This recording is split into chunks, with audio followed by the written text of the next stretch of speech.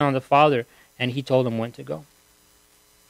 Verse 2 says, Now the Jews' uh, feast of tabernacles was at hand. What feast is this? Well, there's three actual feasts. You have the main feast of the year, there's the Passover feast, there's the feast of Pentecost, and then there's feast, this feast that we're talking about here, the feast of uh, tabernacles or the feast of tents, as some may call it. Why that? Well, they, they were commemorating, they were celebrating um, when they were in the wilderness for about 40, 40 years, uh, where, where they lived in tents. So what they would do, they sort of camped out. They built these little shacks outside, and they camped out for the seven, eight days of, of the of the feast. You know, they did that for a while. Another thing they did was uh, the, one of the priests they would um they would get a pitcher of a gold pitcher of water, and they would sort of pour it out every day uh, uh, upon the altar to remember the rock, the rock that poured out water uh, for the people. You know how God pre- preserved the people during the forty years. Remember, you know, He was a pillar by fire at night, a cloud by day. You know how their shoes didn't wear out. That's what the whole point of the Feast of Tabernacles was. The main thing here is that there was going to be a lot of people, thousands of people at you know Jerusalem and Judea, and Jesus was uh, you know encouraged by his brothers here to go. But see, they had the wrong motivations. In verse uh, three, we see here, his brothers therefore said to him, "Depart from here and go into Judea, that your disciples also may see the works that you are doing." Now, when they say here, your disciples, sort of implying something here, or letting me know that they're not really his disciples. They're basically sort of scoffing at Jesus here, his uh, stepbrothers. They said, Depart from here and go into Judea, that your disciples also may see the works that you're doing.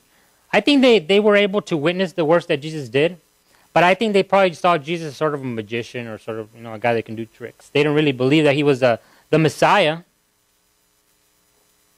Again, Matthew 125 says that, you know, after uh, Jesus was born, Matthew and uh, Mary had other children. It says, I mean, Joseph knew Mary after that. So we know that these guys are, are just actually not his cousins, but his stepbrothers.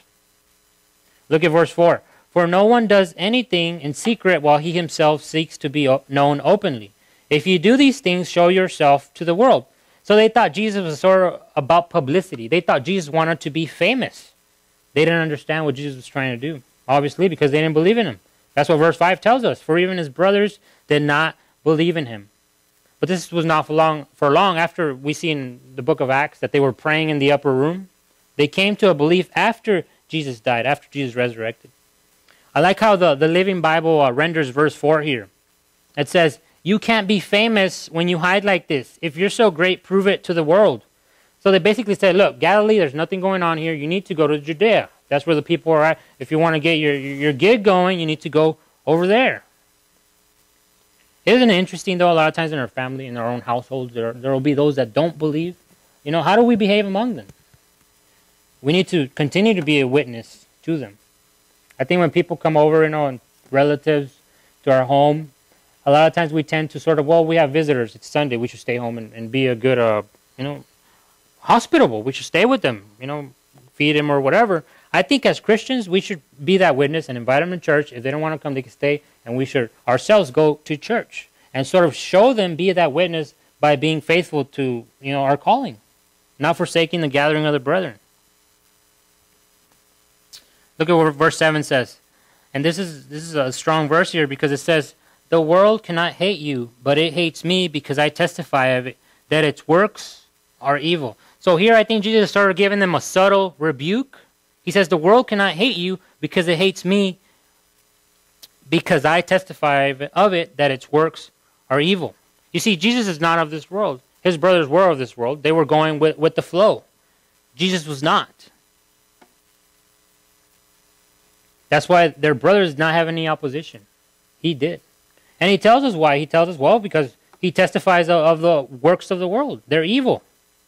John 15, 19 says, if you were of the world, the world would love its own. Yet because you are not of the world, but I choose you out of the world, therefore the world hates you. You see, as Christians, if we're not acting like Christians, the world has no reason to hate us, okay? When the world does hate us, when we have conflict, oppression, at, whether at work and around the family, it's because we're being Christians, right? Jesus wasn't concerned about making sort of a public appearance, doing it for himself he was basically telling him, look, if you guys, whatever you guys do, it doesn't matter. You guys are on, under divine time. but Jesus was. Another imp- interesting point here is that he gives the bad news as well. Because he says, But it hates me because I testify of it. He testifies of it, he preaches of it, that the works are evil. You know, when we give a gospel without the bad news, without the, you know, sin and turning away from it, repentance, we're giving a sugar coated gospel. It's like a flashlight without batteries. You know? Light, just like uh, light flashes, you know, reveals, you know, sort of pushes away darkness. So does the gospel with the bad news. It sort of reveals man's sins. We, when we give something uh, without that, we're sort of giving uh, uh, um, batteries not included gospel. We shouldn't, we shouldn't do that. The power is in the gospel. Romans 1.16 says, For I am not ashamed of the gospel of Christ, for it is the power of God to salvation for everyone who believes, for the Jew first and also for the Greek. I like that word power. What does that word mean? That word mean in Greek?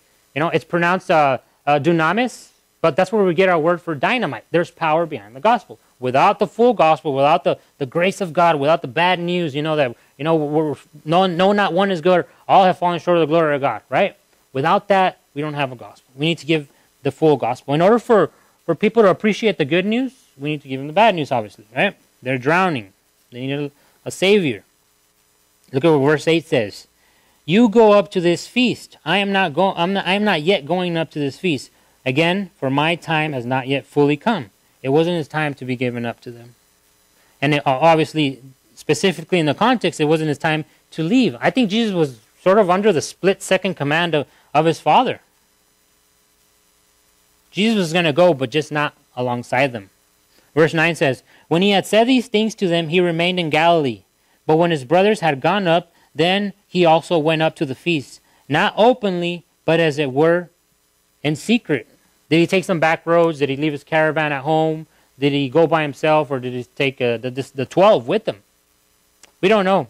But I think if he would have gone with his brothers, his brothers would probably have used Jesus to sort of, you know, look, I'm with Jesus, you know, um, we're sort of kind of famous or, or, whatever. Jesus didn't want to attract that kind of attention, so he waited for them to go.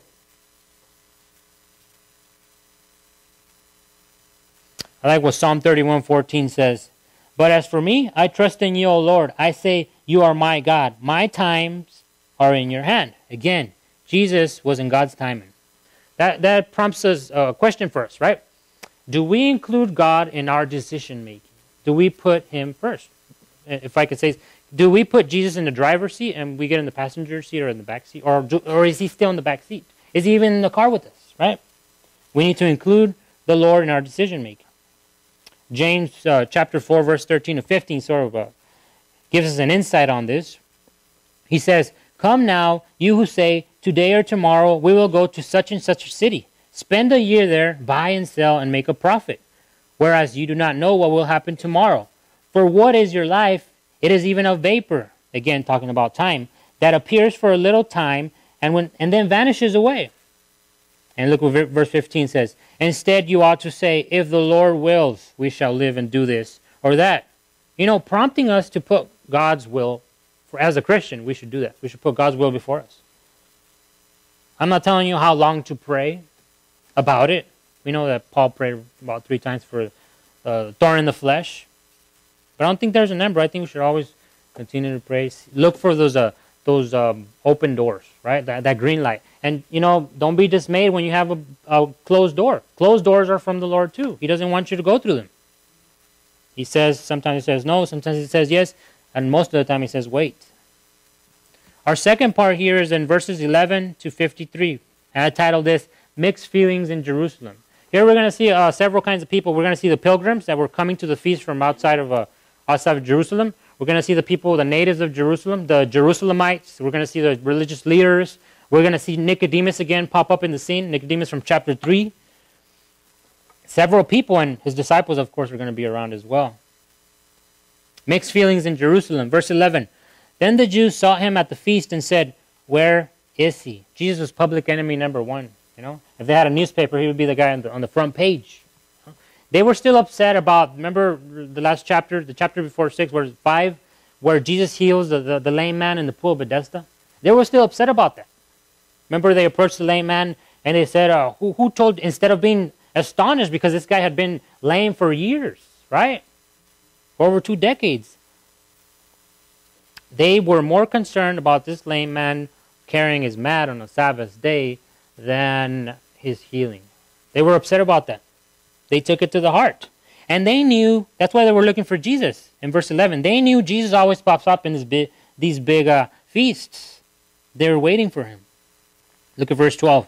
And there was much complaining among the people concerning him. Some said he is good, others said no. On the contrary, he deceives the people.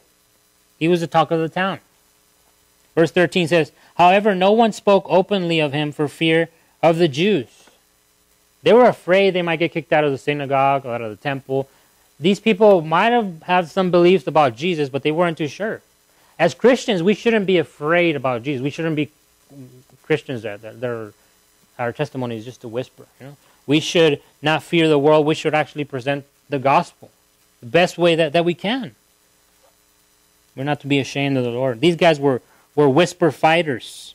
Verse 14 says, Now about the middle of the feast, this is about, the feast lasted about seven or eight days. This is about maybe four days in the middle there. It says, Jesus went up into the temple and taught. So now it's the time to preach. The Lord had given him a special time to, to preach. We don't know how long the sermon lasted, but Jesus is about to give a sermon, and he's to, it's not so much about the sermon itself as much as it is the reactions that the people have. Okay, all these people that I mentioned earlier before, these witnesses about what Jesus is about to say, you know, they have to make a decision for the Lord, whether to continue not to follow him or to follow him. There, there was no middle ground. It says in verse 15, And the Jews marveled, they were surprised, saying, how does this man know letters, having never studied? See, Jesus held his own among the, the Harvard students. If you know, he, he, he didn't have a bachelor's or a PhD, you know, but he did come from God. He knew the word of God. And right here where it says, uh, how does this man know letters? It's referring to his grammar. It's referring to the Hebrew. How did he know it? There was a bunch of schools that, he could have, you know, uh, the, the Pharisees, Sadducees that they studied. Some more conservative, some more liberal. But they knew Jesus had, had not gone to any of these. It reminds me of uh, when Jesus, uh, not that Jesus get, gets lost, but that Mary and Joseph misplace him, right? They forget about him. Where, where do they find him at? He's at the temple, right? He's preaching to the people, even as a child. Jesus knew his stuff because he's the author of the Bible. The, the, the letter is about him. Hebrews tells us. But what does this tell us about us? Do we have to have a PhD, you know, a bachelor's here? or in there, you know. I like Dave Hunt. Dave Hunt died about April. I'm not sure if you guys have heard of him, but you know he's an awesome teacher, debater. Um, he never went to, to Bible college seminary. Actually, he he learned in the church. The church primarily fed him. The Word of God fed him. This is this is this is our our, our textbook. The Bible. Is is school bad? No, it's not. But really, we need to um, what, what can I say? Two things, two requirements, right? The first one should be right. Has God called you? Is God calling you to do this? The Bible says that God called Amos, and Amos wasn't a, a, a you know a Bible scholar. He was a fig picker and a shepherd. So was David. You know, God calls us to do several things. That's that's the first qualification. The second is we need a BA. I'm sorry, but we do need a BA. We need to be born again. Okay, not not a bachelor's. So see, we need to be saved and we need to be called. Here, Jesus is called to preach a message. Verse 16 says, Jesus answered them and said, My doctrine is not mine, but his who sent me. So he's pointing back to the Father here through the message. Verse 17 If anyone wills to do his will, you shall know concerning the doctrine, whether it is from God or whether I speak my own authority. So something interesting he's doing here is that go back to the Bible. If what I'm saying is out of context, if I'm saying something out of turn, you should be able to correct me using the Bible, going back to the Word of God. And as us, we should be like the Bereans. What does Acts 17 11 say? You know, you know th- these were, uh, you know, they, they tested the scriptures. You know, they studied, they were more, uh, you know, uh, concerned. So they studied the scriptures. They searched the scriptures to see if these things were so.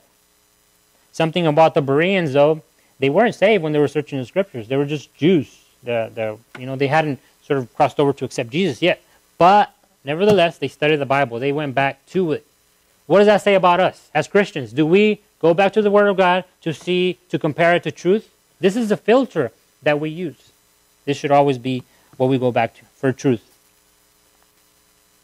Verse 18 He who speaks from himself seeks his own glory, But he who seeks the glory of the one who sent him is true, and no unrighteousness is in him.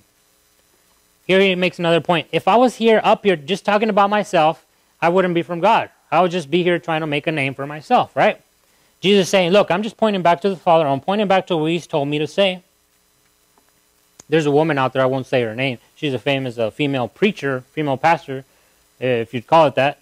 But in her messages, she pauses every five minutes to wait on the audience so that they can clap at her or, or sort of, a, you know, sort of like if you have teleprompters here, you know, it's time to clap or it's time to laugh, right? Like comedy shows, right? And I think that's a selfish way to preach the gospel. It's not about us, it's about the Lord. It's not about the messenger, it's about God. And I'd be weary of people that do that. Verse 19 says, Did not Moses give you the law? Yet none of you keeps the law. Why do you seek to kill me? The point he's trying to make here is that he knew that they were still trying to kill him. He was basically pointing out that they were trying to break the sixth commandment. And what is that? Thou shalt not murder or kill. Verse 20 says, The people answered and said, You have a demon. Who is seeking to kill you? Now we're going to read in later on in the verses that the people say it says that the people know that they, he wanted to be they wanted to kill him, right? These are different people here. These are probably the pilgrims. They were sort of unaware of what the religious leaders in Jerusalem were trying to do. So that's why they say, you know, you're demon possessed. What are you talking about? Because look at look, verse 21. Jesus answered and said to them, I did one work and you all marvel. Again, going back to the, the, the healing of the lame man at the pool. Moses therefore gave you circumcision, not that it is from Moses, but from the fathers, talking about Abraham. Circumcision was before the law. And you circumcise a man on the Sabbath. If a man receives circumcision on the Sabbath, so that the law of Moses should not be broken, are you angry with me because I made a man completely well on the Sabbath? The thing with circumcision was the law said after uh, you know a baby was born, they had to uh, circumcise him on the eighth day, right? Regardless if it landed on Saturday, on the Sabbath, right? So we're sort of okay. It's called. It's considered working to circumcise somebody. So what happened? He's basically showing them, look, you don't consider it work or, or doesn't uh, doesn't make the law obsolete when you do that. Why do you make a big deal when I heal somebody uh, uh on the Sabbath? They do a partial cleansing by, uh, you know, clipping the, the, the foreskin, but uh, they're making a big deal because Jesus does a full cleansing by healing somebody on that day. Let's continue here. Verse 23 If a man receives circumcision on the Sabbath, so that the law of Moses should not be broken, are you angry with me because I made a man completely well on the Sabbath? Do not judge according to appearance, but judge with righteous judgment. Judge, right? You guys know that word. You know, the favorite uh, verse of the unbeliever is, you know, you shall not judge. Judge not lest you be judged. That's also a famous verse for, um, a popular verse for a lot of Christians that are not too into the Word of God. They're kind of ignorant about things and they're afraid to sort of judge people. You know, the Bible calls us to judge, not to condemn. Not to condemn people. We're not here to condemn anyone. The Lord will condemn one day. That's not our problem. But that word judge also means to assess and evaluate. Okay? And the Lord does call us to judge, but not hypocritically. Look at uh, 1 Corinthians 2.15. But he who is spiritual judges all things, yet he himself is rightly judged by no one. As Christians, we need to assess situations. You know, we need to not be afraid. You know, imagine if we didn't judge at all. Know, we'd be like the Corinthians that Paul approached them. You know, you guys are embracing a son having a relationship with his, his stepmother. You know, th- that's not what it's about. We need to be firm. We need to uphold what the Word of God says. Again, we should not judge hypocritically. We see that in Matthew 7 1 through 5. I don't have the verse up here, but I have the uh, correlating verse here. It says, Jesus says, Judge not that you be not judged. Yes, but if we stop there, if we just read that, we sort of lose the whole context. We, we lose the whole meaning of the verse. We wouldn't tell anybody anything. Verse 2 says, For with what judgment you judge, you will be judged, and with the measure you use, it will be measured back to you. And why do you look at the speck on your brother's eye, but do not consider the plank in your own eye? Or how can you say to your brother, Let me remove the speck from your eye, and look, a plank is in your own eye? Hypocrite, first remove the plank from your own eye, and then you will see clearly to remove the speck from your brother's eye. Is it saying not to judge? No, it's saying don't judge hypocritically. Okay? If you're living in sin, if you're being unfaithful to your wife or wife unfaithful to your husband, you can't go and tell your brother, you need to stop watching pornography because you're going to go to hell, right? You can't do that. You need to first take the, you know, take the the plank out of your own eye before we approach people. Look at verse 25. Now some of them from Jerusalem said, Is this not he whom they seek to kill? This is the verse I was talking about. They were aware, the people from Jerusalem, that they wanted to kill Jesus. The other ones that said, Do you have a demon? They were the pilgrims that had just came from different, you know, maybe Greek cities or, or Galilee. Verse 26 says, But look, he speaks boldly, and they say nothing to him. Do the rulers know indeed that this is truly the Christ? One thing they saw here is that Jesus spoke with authority. They weren't getting that from uh, from the Pharisees and the Sadducees, religious leaders. They weren't getting that. A lot of the things they did was they just come up here, they tell a story, they would give their opinion. My opinion is, or Galileo says this, or Gamaliel says this over here, Nicodemus says this. They had different schools, different opinions. Jesus, when he went up there, he spoke with authority because he's the author of the Word of God. And they, and they sort of, uh, they liked that. Another point we see here in verse 26 is that they were, since the rulers weren't doing anything to get him off of the stage, they thought maybe the rulers were agreeing with Jesus. Verse 27 says, However, we know where this man is from, but when the Christ comes, no one knows where he is from. I think they were confusing maybe the, the, the first coming with the second coming because they thought that when Jesus came to earth as the Messiah, that nobody was going to know where he came from. That's not so. You know, the first coming, the Bible does say, I think Micah 5 2, that he was to come from Bethlehem. Verse 28 says, Then Jesus cried out as he taught in the temple, saying, You both know me, and you know where I am from. And I have not come of myself, but he who sent me is true, whom you do not know. So basically, Jesus is addressing the same thing he's addressed before. If you guys knew God, if you guys knew the Bible, that it speaks about me, you'd know that I'm coming from God. Verse 29 says, But I know him, for I am from him, and he sent me. It reminds us of what John 1.18 says, No one has seen God at any time, the only begotten Son who is in the bosom of the Father, he has declared him. Another translation says, the only begotten God has seen him, right? Verse 30, Therefore they sought to take him, but no one laid a hand on him, because his hour had not yet come. There it is again. Timing was not, the, it, the timing was not ripe.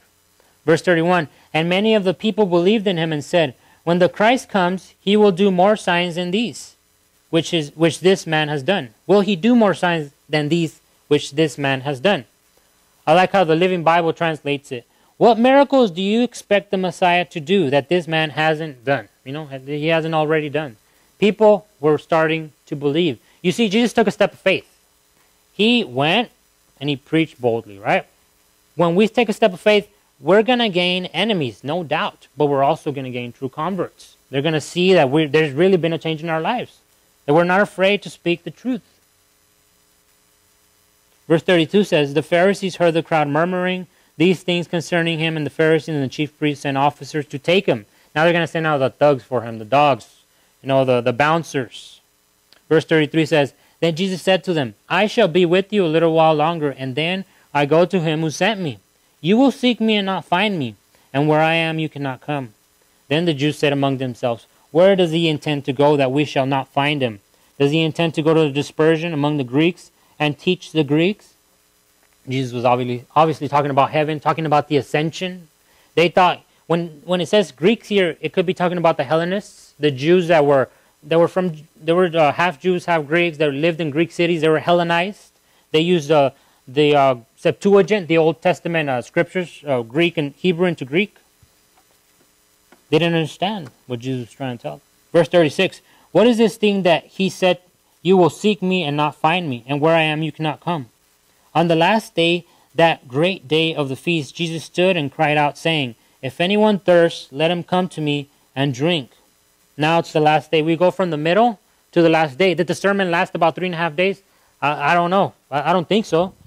But we know we're in the seventh or eighth day of the feast, last day. And go. Let's go back to that that, that gold pitcher with water. Remember that?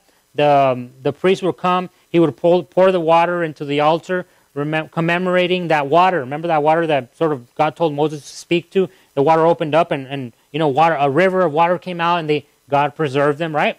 So I'm thinking here, Okay, this is happening in the background, and then Jesus says, you know, in verse 38, He who believes in me, as the scripture has said, out of his heart will flow rivers of living water.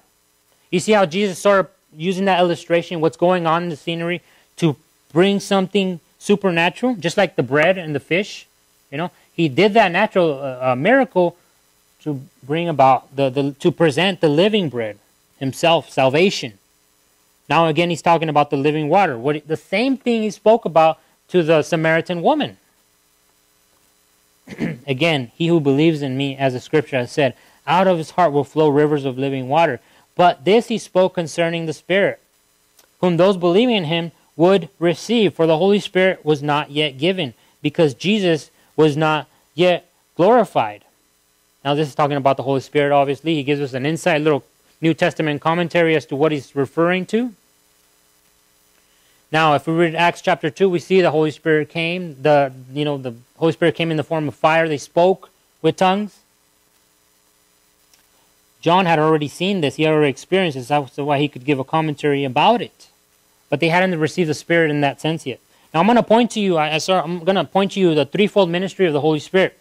There's three ways that the, the Bible refers to the Holy Spirit. The first one is when he uses that word para or you know para, which means uh, that that he's with, right? He's alongside of you. If I had a picture here, it's not inside of you, not above you, but besides you, right? The Holy Spirit is with us in the sense that he comforts us, that he convicts us of sin. John 14, 16 and 17 says, And I will pray the Father, and he will give you another helper, that he may abide with you, there it is, forever, the Spirit of truth, whom the world cannot receive, because it neither sees him nor knows him. But you know him, for he dwells with you, and he will be in you. You see the difference with and in? Then there's the other Greek word used for the Holy Spirit, as far as uh, where he's at. It's the word Greek word epi, you know, which is upon you or above, above you, what we see in Acts chapter uh, 1 8. But you shall receive power when the Holy Spirit has come, not in you, not with you, but upon you. And you shall be witnesses to me in Jerusalem and in all Judea and Samaria and to the end of the earth. This is the empowering of the Holy Spirit. Some Christians call it the baptism of the Holy Spirit. Baptism, because what happens at baptism? We're sort of uh, under the water, right? We're under uh, the water. The water is above us. The Holy Spirit is above us, upon us, and we're empowered by the by the Spirit. You know, we can be used by God greater. And then the last part, which is en, the Greek word en, which means in or within. 1 Corinthians 6 tells us, Or do you not know that your body is the temple of the Holy Spirit, who is in you, whom you have from God, and you are not your own? For you were bought at a price. Therefore glorify God in your body and in your spirit, which are God's. So we see the Holy Spirit has several ministries on the side of us, inside of us, and above us, right? He works in us threefold ministry. In verse 40 or 41, we see sort of division among the crowd. Therefore, many from the crowd, when they heard this saying, said, Truly, this is a prophet. What prophet? There was supposed to be a prophet that would come before Jesus sort of a the forerunner. That was that was John the Baptist, not Jesus.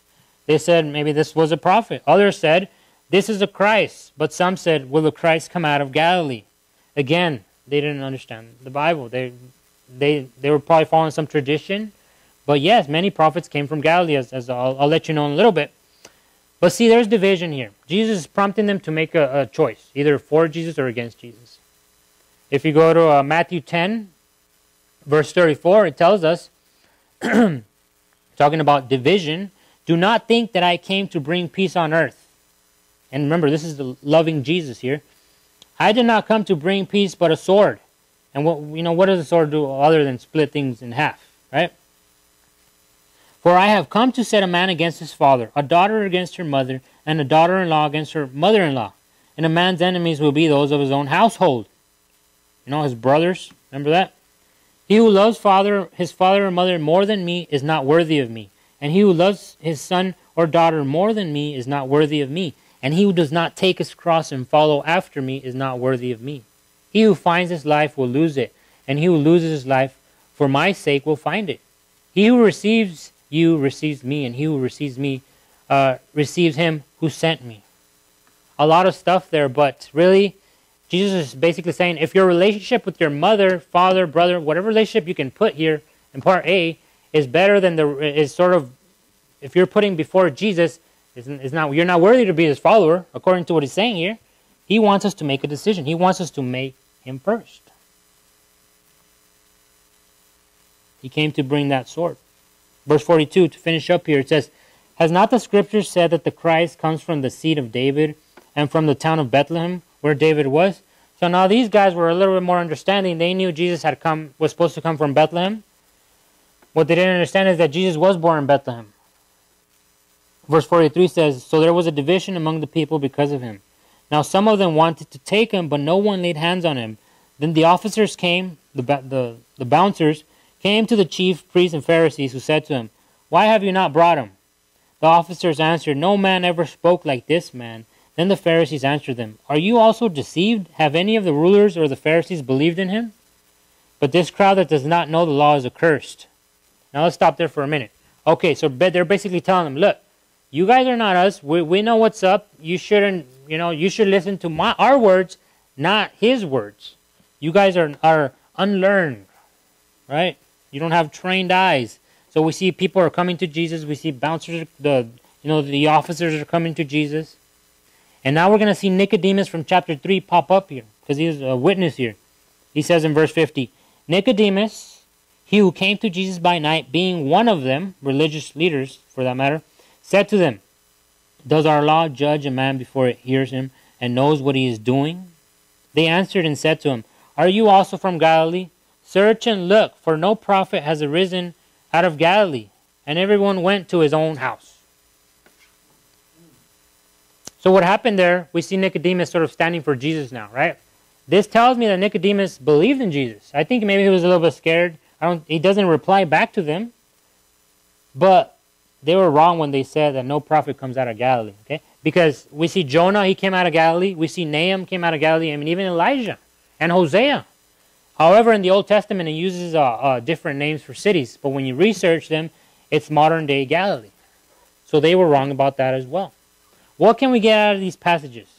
Well, we see several things. We see that Jesus was under the Father's time, He was under divine timing. We need to be under God's time. It's His will, not our will, right?